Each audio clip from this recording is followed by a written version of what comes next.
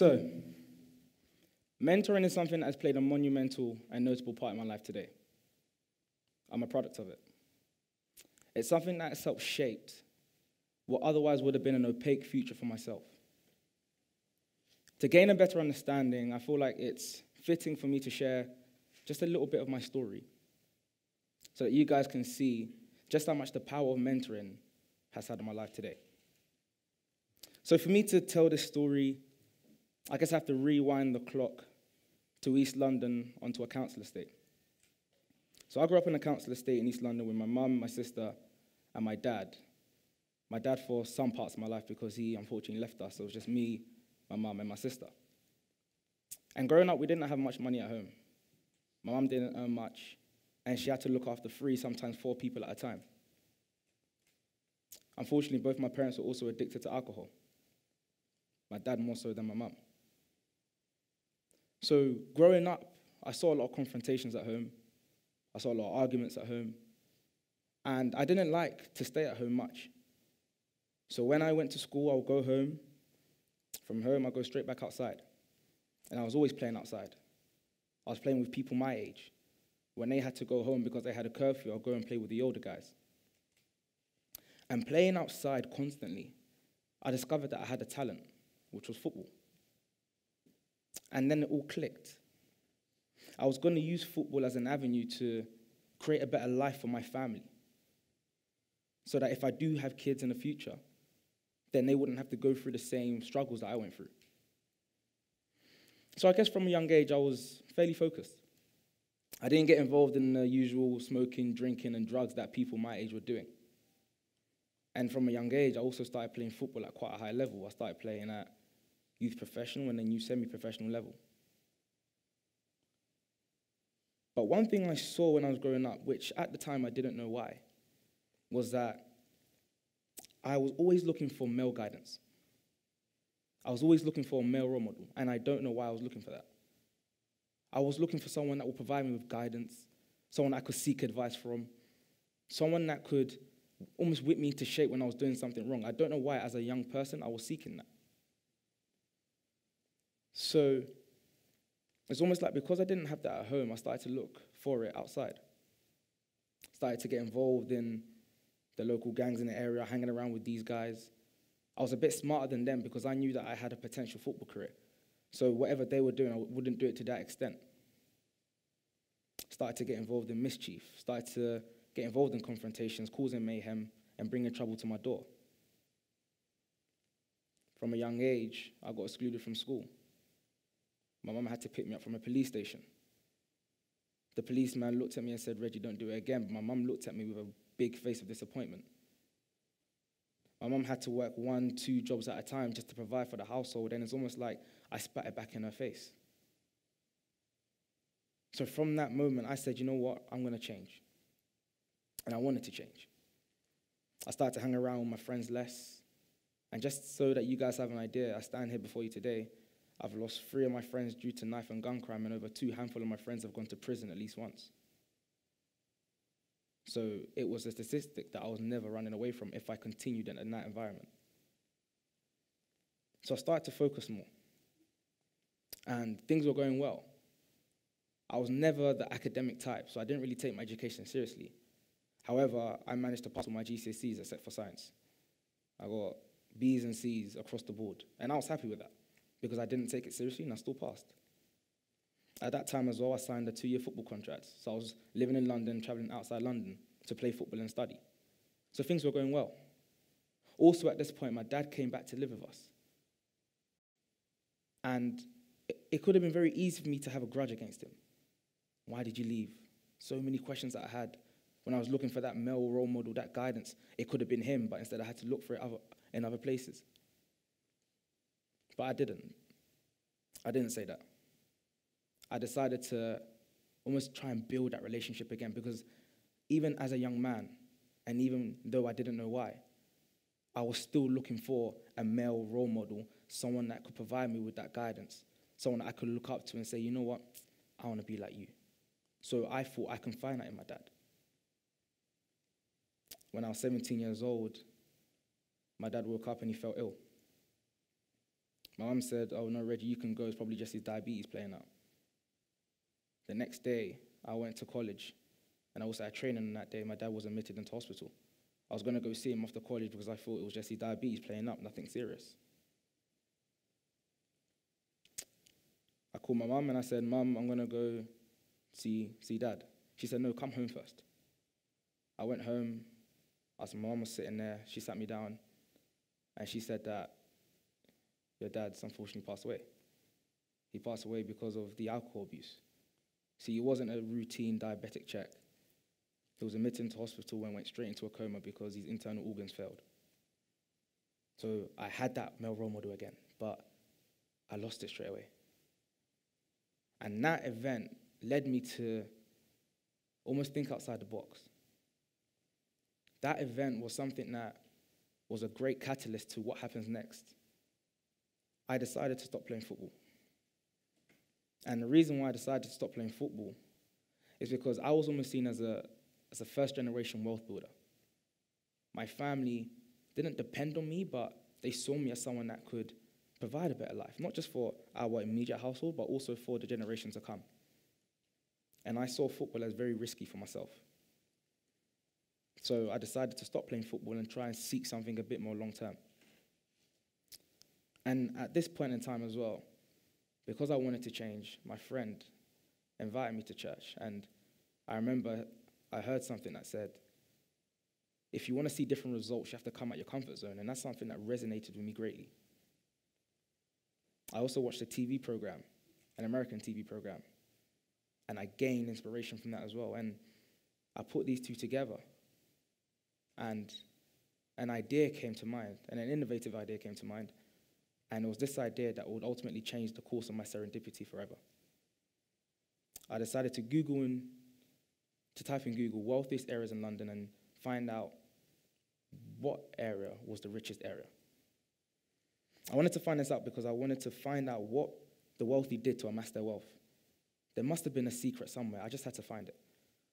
So when I found out the richest areas in London, I made a list of them and I went to one of them, which was Kensington and Chelsea. I went there and I started asking random people on the streets, What did you do to amass your wealth? What skills do you have that I can take for myself, use it, go back to where I'm from in a council estate, and one day become as wealthy as you? I was in the area for about three hours. People weren't stopping on the street, so I decided to knock on people's doors. When I knocked on the doors, I knocked on the door of, at the time, a senior executive for the largest asset management company on the planet. When I knocked on the door, to my surprise, they invited me in. When they invited me in, they started to speak to me. And I started to open up to them like never before. I started to talk to them about my education career, how I'm not academically bright and I don't really care about education. How I was on a football contract, but now I don't really want to play football and I don't really care about football anymore. How my father has just passed away. How we don't really have money growing up.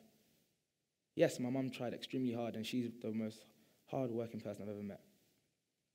And we, we got by. Don't get me wrong, we got by. We had food in the fridge and we had clothes on our backs. We, we did okay. But we still struggled to an extent. And I guess I told this story just so that you guys can see what happens next and how much of an impact the power of mentoring can have. So when I met this guy, his name was Quinton Price, he provided me with three things. Three things that would change the course of my life forever. And the first thing he provided me with was visibility. You see, when I met him, he invited me to the company two weeks later. And I spent an insight day there. I went there for an insight day, and I kid you not, my tie was so short. I didn't know how to wear a suit. I went there, I looked a mess. I even wore fake glasses because I thought smart people had to wear glasses. I didn't know what to do. I had never been in that environment before. But he provided me with visibility. Visibility being Reggie, whatever you want to do, you can actually do it. And I know it sounds quite cliche, but where I'm from, you don't hear that. Where I'm from, you're, pre- you're presented with three options football, crime, or music. I was never going to be a musician. I tried football and it didn't work. And my mum wouldn't let me become a criminal.